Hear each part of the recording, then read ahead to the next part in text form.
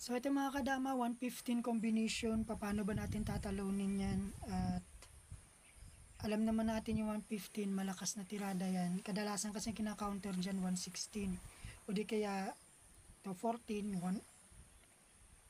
115. Ngayon, iibahin din natin paano pag ah, 115 yung tira niya.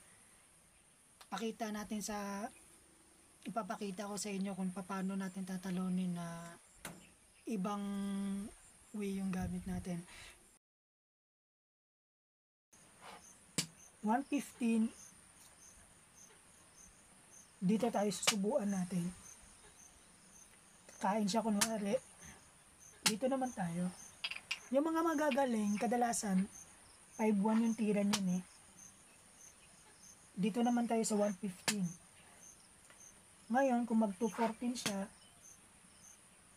5-1 tayo. Sa tira na yan mga kadama, marami siyang tulak dyan. Pwede siyang mag 9-5, 6-2. Halimbawa na lang tulak siya ng 7-2.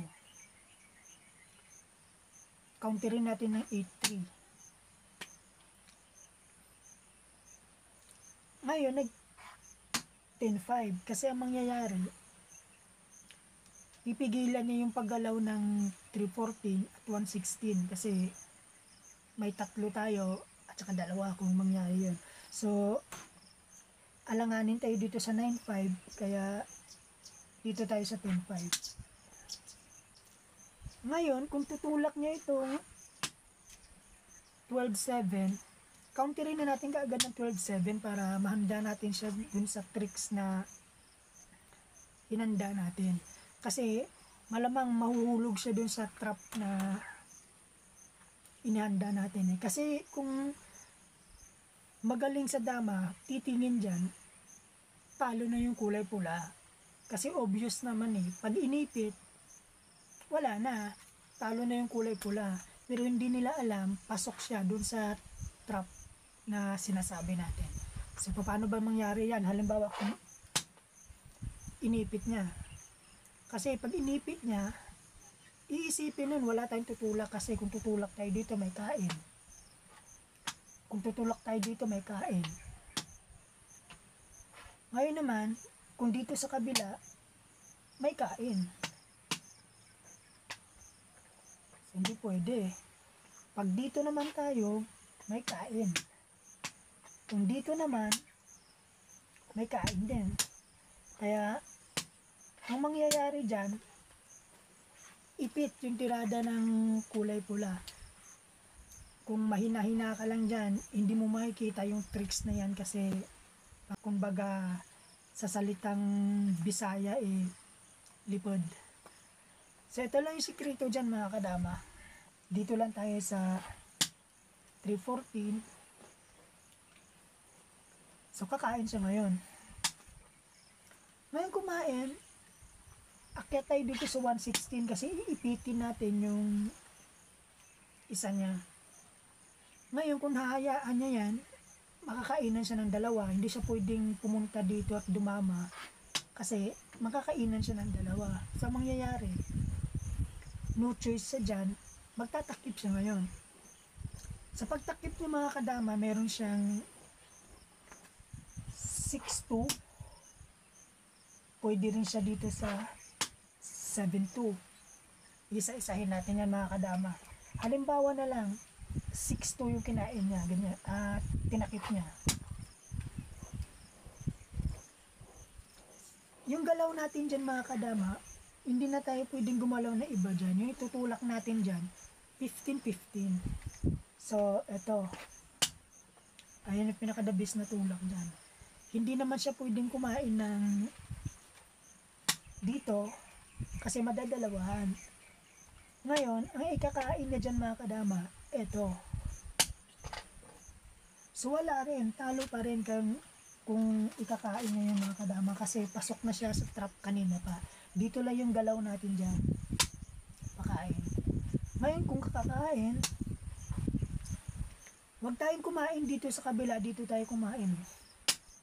Lagi natin tatandaan, dito tayo kumain sa 7.30. So, kakain siya ngayon. Kakain tayo.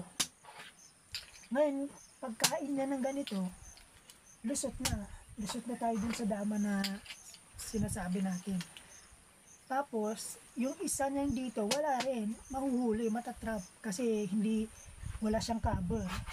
Hindi siya, pumu- hindi siya pwedeng pumunta rito. Hindi niya na pwedeng hayaan. Kakainin ng dama yan. So, uulitin natin mga kadama kasi merong vibration dun na may kain kasi sa kabila eh. Kaya ulitin natin yan. 115 through 14 kumain dito lang. Nag 5-1 115 to 14 gante ito. 1 7-2 8-3 tumulak siya ng 10-5 tulak tayo ng 10-5 nag third 7 so third 7 din tayo. So dun mga kadamay inipit niya. Ito yung tinulak niya eh para maipit yun sa atin. So yung ginawa naman natin kanina dyan eto. Ganyan.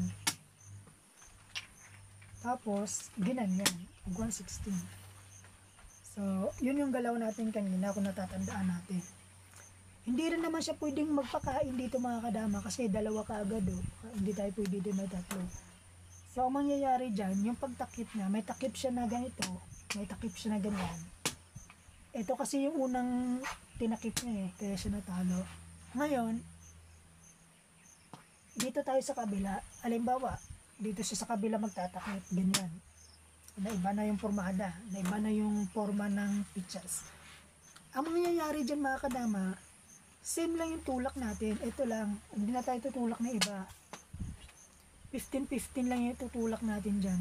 Ngayon, hindi rin naman niya pwedeng ikain ito. Kasi nga, makakainan siya ng dalawa. So, obligado, dito yung kain niya. Pag tinira niya yan mga kadama, yung counter natin dyan, ganun pa rin. Hindi tayo, hindi tayo mag-iiba ng atake. Dito lang. Sa 3, sa 13-16. So, pag kinain, wag ulit tayong kumain dito. Dito lang yung kain natin. Kasi may dalawa eh. May pagkain dito. Dito lang tayo kakain. Kasi ang mangyayari dyan, pag kumain, so, ayun yung labas. Mas malala. Kakainan natin siya ng apat. Pag umiwas, dito na. Yun yung tirada dyan mga kadama. S- sana nasundan mga kadama, ulitin lang natin para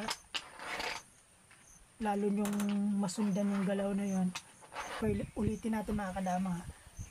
115 pero 14 kumain. 951 115 pa 14 tira dito. nag 72 nag 83 nag 105 105 din pag 12 7 12 7 ayun yung ginawa niya Pag nandyan mga kadama, huwag na tayong tumulak ng iba dito lang. Tapos sasayangin natin dito. Pag umakyat, pag kumabar, alin man yung i-cover niya dito, yan. Eto lang tayo. Kasi hindi niya pwede ikain yan, ganyan oh. Kung eto man yung kinabor niya, ganyan yung labas. So, malamang ditong kain yan. Pag kumain siya ng ganyan, dito na tayo. Kapag kain, may pili, dalawa yung kain natin, ito tsaka dito. So dito lang tayo kakain. Pagkain, ayun, mas malala. So kahit takpan pa niya yan, wala rin, wala rin mangyayari kasi ito lang oh. Pag umiwas, ito na. So, ganun lang kadali mga kadama. Sana nasundan at sana nag-enjoy kayo sa panonood ng video. At saka, sana may bago kayo natutunan dito sa vlog na to. Hanggang sa muli po, ah, sana mag-comment kayo lagi sa vlog ko. Ano ba yung mga opening na dapat nating gawin. At gagawa natin ng video yan para sa inyo.